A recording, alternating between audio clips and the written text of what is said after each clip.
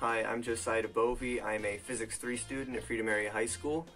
Um, so in Physics 3, we explore some concepts that are a little different from Physics 1 and 2.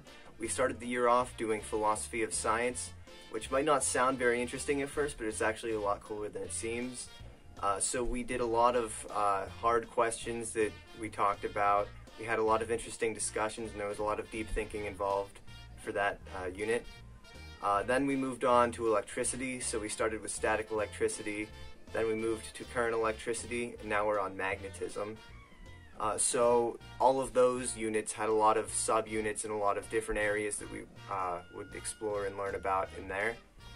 So physics 3 I'd say is a lot more hands-on than physics 1 and 2 because when we were doing static electricity we would always have a demonstration that we could watch and Dr. Wargo would explain what was going on and we could see what was going on also.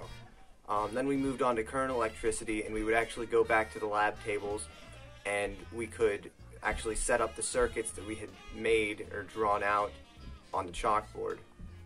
Um, with magnetism, which is what we're doing now, there's not really a whole lot of opportunities to uh, do hands-on work because school got canceled for the end of the 2020 school year. But it's still very interesting to learn about online, and Dr. Wargo still does a great job at teaching, even though we can't do the lab work. Um, so I think Dr. Wargo's class has a very good balance between uh, hands-on work, demonstrations, uh, lecturing, and quizzes. And I think that it uh, a setup that appeals to most students, and I would highly recommend it to anybody who is interested.